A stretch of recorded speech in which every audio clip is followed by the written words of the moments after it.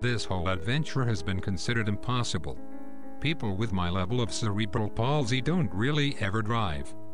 The conventional reasoning is that we don't actually have enough physical control over our bodies, especially given the unpredictable nature of safely piloting a vehicle. And having CP, I can certainly understand that reasoning. Fortunately, that reasoning can be wrong.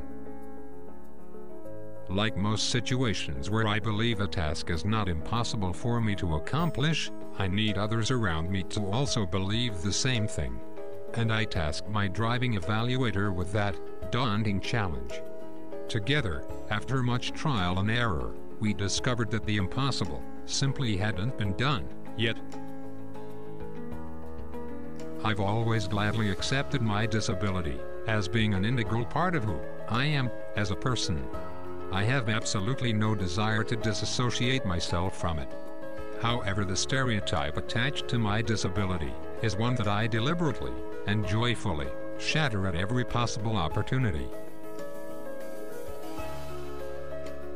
Driving is not primarily just another opportunity to divorce myself from a short-sighted stereotype. As it does for everyone, driving affords me possibilities to broaden my reach to make a difference, and discover more avenues to enrich and enjoy my own life.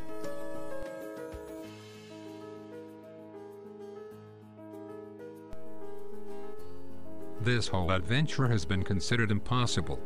The next adventure seems equally impossible. Purchasing a wheelchair-accessible van, with the equipment that I need to drive, is very expensive. But I believe that this too is indeed possible. However, I need others around me to also believe the same thing.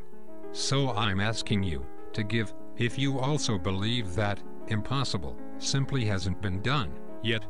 Thank you.